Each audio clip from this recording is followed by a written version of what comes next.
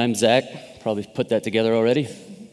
Uh, a couple years ago, Zack and I collaborated on transforming an industrial robot into a personal back massager. And the comfortable results of that have kept us collaborating ever since. Today, we're going to talk about uh, new work that we're doing called Rob, uh, RoboOp.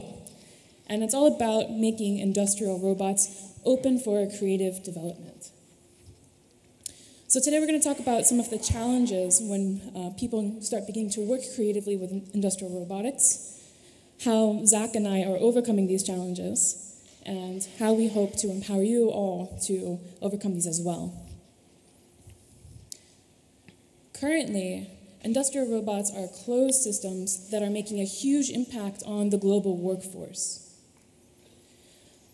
You can see that over the past five years, there's been a really uh, dramatic change of people moving out of the workforce and robots moving in and taking their place.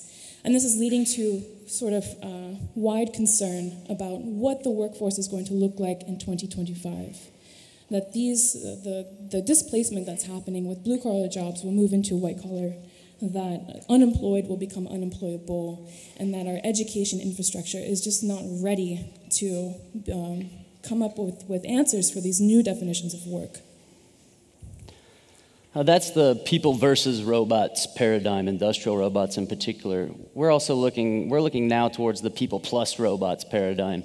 Um, plenty of examples happening in the open source community, uh, some bottom up models, some crowd-sourced uh, funding models, um, art projects that engage people with uh, industrial robots um, in social settings, and of course, my favorite, um, gardening on other planets. So, despite the sort of changes that are happening, there are still steep challenges that impact people working at the fringes of industrial robotics.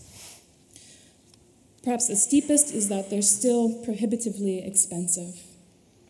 Um, all of these machines have proprietary interfaces, and currently the knowledge to begin to interact with them is still completely private. So, what we've tried to do with RoboOp, RoboOp, is uh, tackle these things in a couple of different ways. Um, they are prohibitively expensive, but the hardware that we've developed is modular and pretty easily reconfigured to adapt to different systems, including ones that have been decommissioned or replaced by newer ones, um, that have a more accessible price line. Uh, much friendlier software, um, which we'll explain a lot more about, but uh, software that plays well with others and plays particularly well with software that already plays well with others. Um, and then, of course, a, uh, a knowledge hub, some place where we can share um, and hopefully get other people to uh, adopt a sharing platform because, in our opinion, if you don't share it, it didn't happen. Um, a couple of pretty simple motivations, um, and this is a little glimpse of, of the device itself on the end of a, of a big robot. Uh, here's a motivation. I'm not sure if you can make out that price line on the quote, but to extend sensing in the way that we might if we're doing some kind of creative application with an industrial robot, you have to invest in the US a mere $30,000 or so. So, no big deal, right? Actually, it's a huge deal, especially for students. Um, the other motivation was that in a student environment for creative projects, there's a tremendous amount of redundancy in um, workflows and in communication pipelines. Those are redundancies that can block a student from actually having the opportunity to do something creative and interesting, engage the idea part of their brain rather than just the technical. So, what we set out to do was develop a universal tool adapter. Um, and this process basically brought us a couple versions of a device that has a, a, a, few simple things that help it interface with the robot. Interfacing with the robot, this is the device in um, kind of the clear plastic and it's encased electronics. Interfacing with the robot is an obvious first thing. It needs to work on the existing machine. Um, we want to have access to our toys, and our toys are reprogrammable microcontrollers, which many of us use. Um, we want to uh, allow people to continue to install their own devices on the end of the robot in the same way they normally would. Um, and we want people to be able to stick peripheral devices, um, attach things easily and quickly to the end of the robot without a lot of hassle. Um, and create smart tools, essentially. We want people to be able to create smart tools and streamline the process of integrating them into robot control. Um, to point out some of the features of the specific device, uh, there's cross brand mounting. What that means to us is any device can be uh, attached in relationship to the end of the robot where all the magic happens in a meaningful way. Um, there's a signal transduction from the robot to the microcontroller and from the microcontroller back to the robot control system uh, through a hardwire.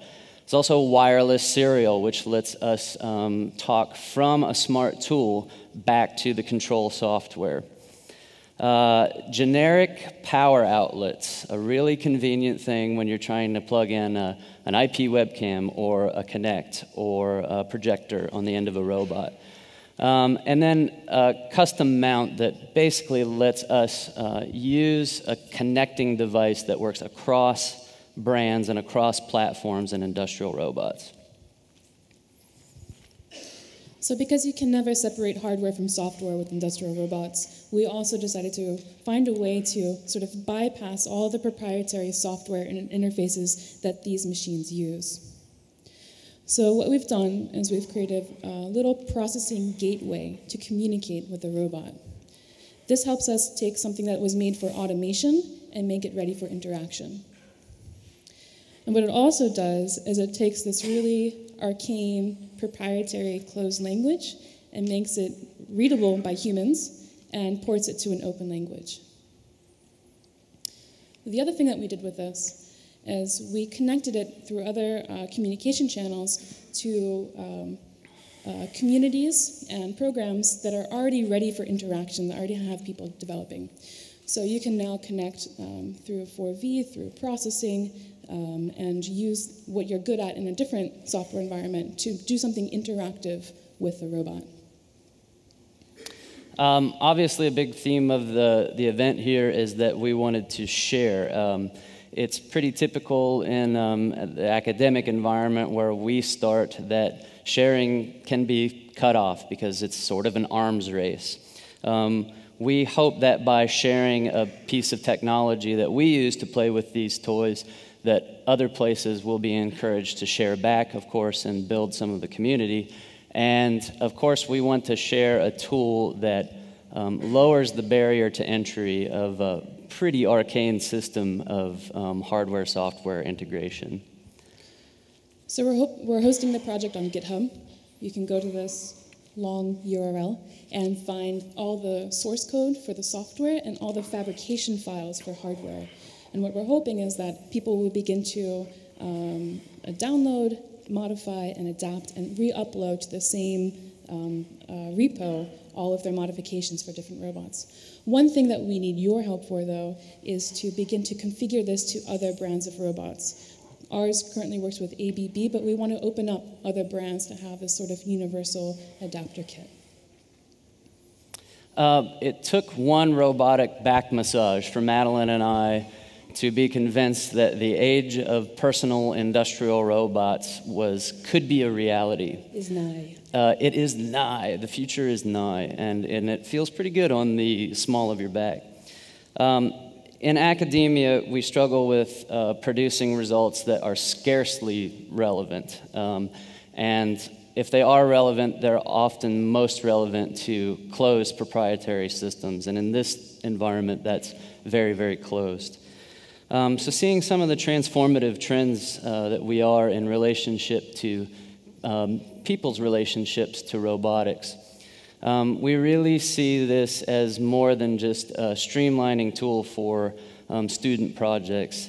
It's really an, a, an ethical issue of um, uh, using open source to uh, empower people to become more than just consumers of industrial robotic goods and services, but to become creators with industrial robots.